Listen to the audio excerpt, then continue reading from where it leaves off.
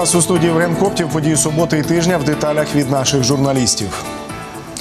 На десятку дорожче тепер коштує дістатися до Кривого Рогу. Вартість проїзду з листопада збільшилася з 85 до 95 гривень. Чим пояснює зміну тарифу перевізник і чи є бюджетна альтернатива в пасажирів у сюжеті Тетяни Полякової. На платформу Криворізького автовокзалу маршрутки з Дніпра прибувають кожні 20 хвилин.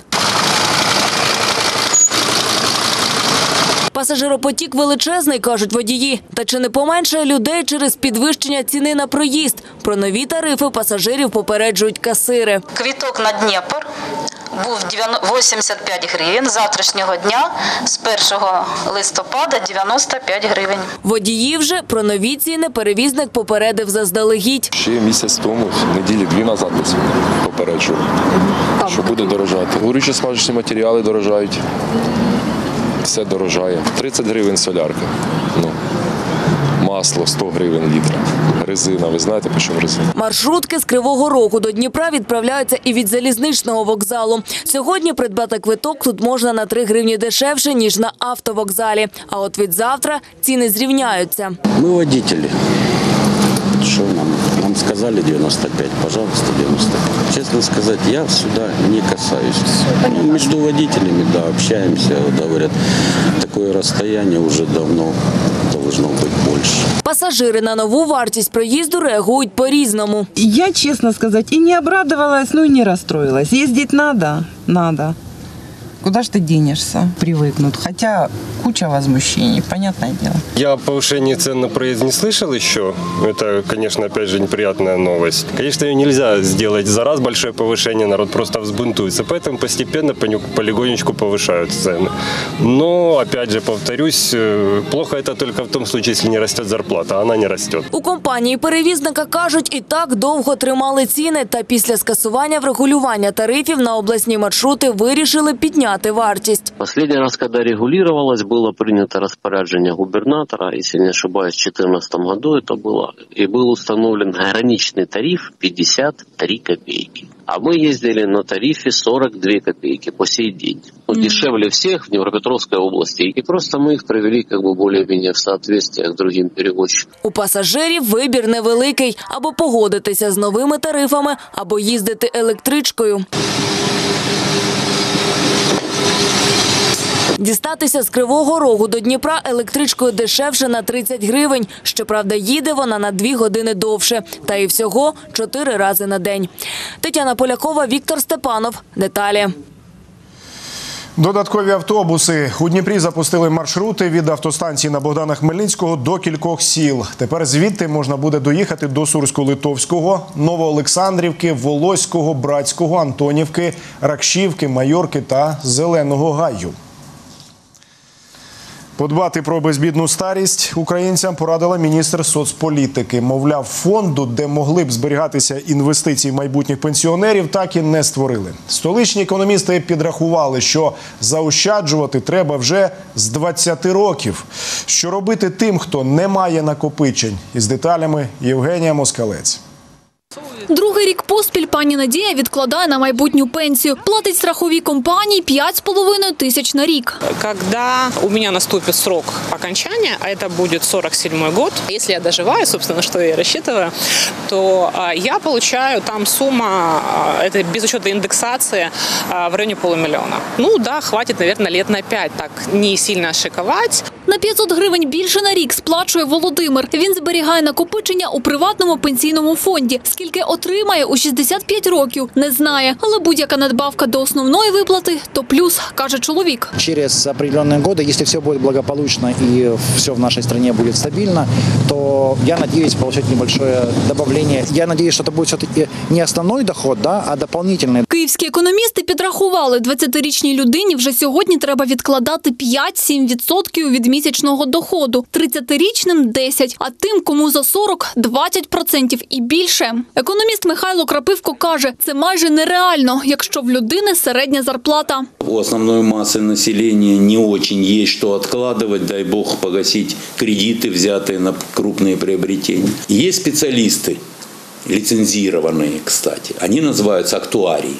И вот актуарии э, и занимаются моделированием, когда, сколько надо, куда отложить, в какие инструменты. І радить краще не прив'язуватися до певних цифр і відкладати стільки, скільки можете. А ось зберігати гроші слід у різних валютах. Так можна підстрахувати свої статки. Євгенія Москалець, Андрій Миронюк та Микола Шараєвський. Деталі. Танки і бойові машини у середмісті. У Дніпрі відзначали 23-ю річницю Дня ракетних військ і артилерії. На набережній влаштували показ військової техніки. Кожен охочий міг залізти до будь-якої машини, покермувати гаубицею та потримати зброю. Святковий настрій створював військовий оркестр. А ще всіх пригощали польовою кухнею і зігрівали теплим чаєм.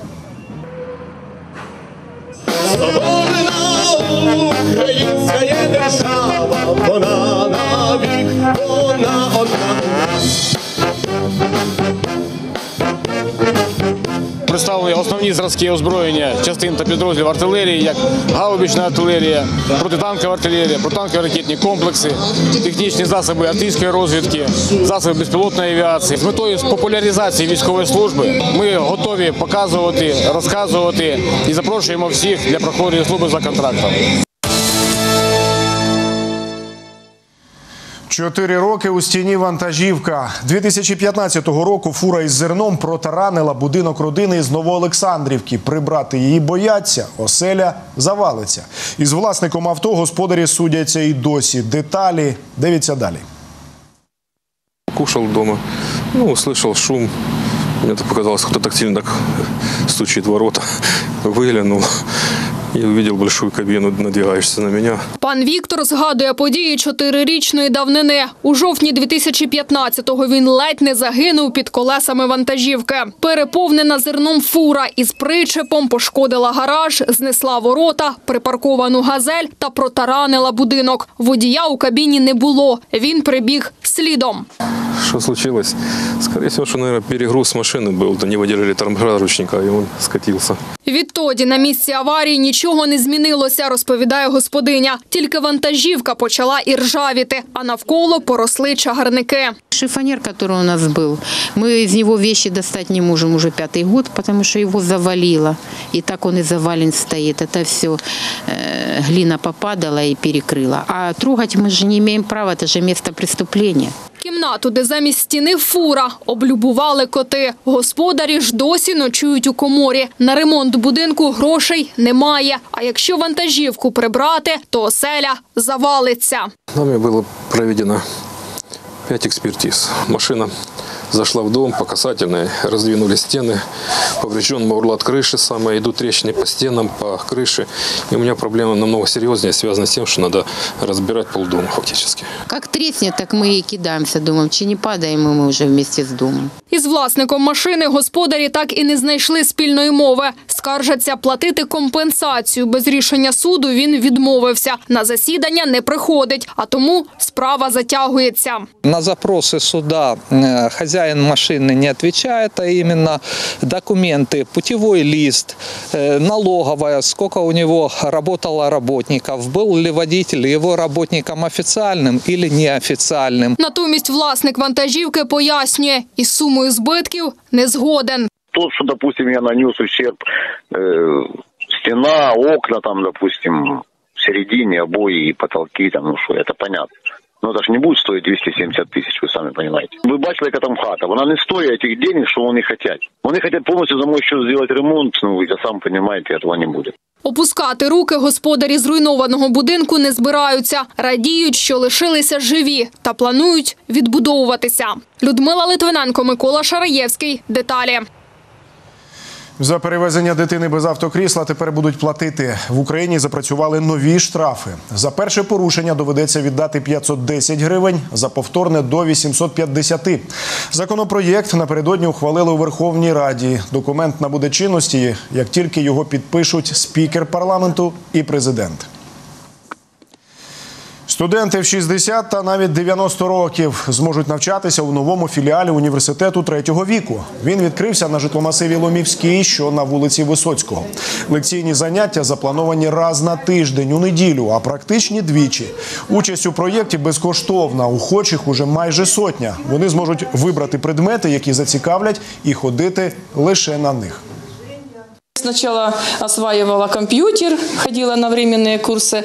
Э, Очень люблю э, правознавство посещать. Дома замыкаться тоже не смогут э, куда-то выбраться. А тут рядышком вот старенькие бабушки на лекции будут приходить. Це лекційні заняття з психології, здорового способу життя, правознавства. Це практичні заняття, це зарядка, це новий напрямок китайської гімнастики плейстик. Вони зможуть відвідувати лекційні заняття. Також для них будуть проводитися е, гімнастика, для них буде проводитися заняття з фізичної культури. Йому 98, їй 92. У шлюбі 70 років. Подружжя Сапігів у Дніпрі відсвяткувало платинове або благодатне весілля. Пара виховала трьох дітей. Уже має п'ятьох онуків, сімох правнуків та праправнучку. Про секрети сімейного довголіття у нашому наступному сюжеті. Євгенії Петрівні було 22 роки, коли вона вперше побачила свого чоловіка. Згадує, того вечора прийшла в гості до подруги. Коли кинулись іти додому, він взяв під руку мене і привів до двору до мого. Менше ніж за місяць Євгенія Петрівна та Іван Федосійович побралися. От тільки святкувати довелося дуже скромно. У батька була бутилка самогонки. Ми купили хліба і ковбаски, прийшли додому, сіли, пообідали. Спочатку житло винаймали, потім почали будуватися самі. Поки Євгенія Петрівна доглядала вдома трьох доньок, Іван Федосійович працював на заводі. Коли день перегіркувалися, хтось щось комусь не вгодив. Ну це ж як скрізь таке буває. Ну, великих скандалів у нас не було. Дружно працювати, а ще підтримувати одне одного. Ось секрет щасливого шлюбу, каже пані Євгенія. Цьому вона навчила і своїх дітей. Поздравляем вас с юбилеем, с 70-летием. Счастья, здоровья. Торік донька Антоніна разом із чоловіком також відзначила річницю золоте весілля. Дивилися, як е, наші живуть родителі, так старалися й ми жити. Щоб е, не сачкувати. Життєву мудрість родина Сапігів тепер передає іншим нащадкам – п'ятьом онукам, сімом правнукам і праправнучці. Людмила Литвиненко, Світлана Ставцева. Деталі. Соціальній сфері в Україні 20 років. Чергову річницю відзначили у Дніпрі. На професійне свято запросили фахівців управління фонду соцстрахування, медиків, профспілкових та громадських діячів. Вони щодня забезпечують комфортне життя населенню. На Дніпропетровщині під опікою соцпрацівників перебуває близько мільйона осіб. Це люди з інвалідністю, учасники АТО та переселенці. Через е, наш центр госпіталізується більше тисячі е, людей, пацієнтів. Е, Тобто більша частина з них працююча і не працюючі це інваліди праці. Это наша цель и за- и задача защищать каждого человека труда, который сегодня работает. Шахтера, металлурга, химика, врача, все те, которые сегодня живут и работают в нашей единой э, системе. И дай Бог, чтобы это всегда было так, чтобы человек труда всегда был социально защищен на самом высоком уровне. У неділю спортивний клуб Дніпро 1 зіграє із Зорею. Незважаючи на серію поразок, підопічні Дмитра Михайленка готуються до матчу в гарному настрої. Не полишають надію здобути перемогу. В принципе, были и матчи более равные, как там с Мариуполем, я считаю. Тот же Ингулец. э, Мы не должны были по игре проиграть, но так сложилось. Мы будем стараться играть на три очка, но даже при таком стечении обстоятельств, что будет ничья, я не думаю, что будет негативный результат для нас. Тренер запевняє, суперника вивчили добре. На старті чемпіонату зоря починала роботу з новим наставником. А вже зараз у команди є власний стиль. Якщо вдасться здобути очки з таким опонентом, бойовий дух Дніпра 1 повернеться. Команда играет очень агрессивно, команда играет э, очень быстро, э, физически хорошо готова команда, скоростная команда, э, играет э, э, с большим уклоном на атаку. Большая группа игроков э, находится в атаке. Нужно, опять же, быть позитивно настроенным. Нужно э, верить в себя. Самое главное, много работать. Я не думаю, что есть какие-то другие рецепты э, выхода из ситуации. І це всі новини у випуску. Якщо маєте важливу або цікаву інформацію, телефонуйте на номер гарячої лінії Детали пишіть нам у Viber та Telegram. І до зустрічі в ефірі.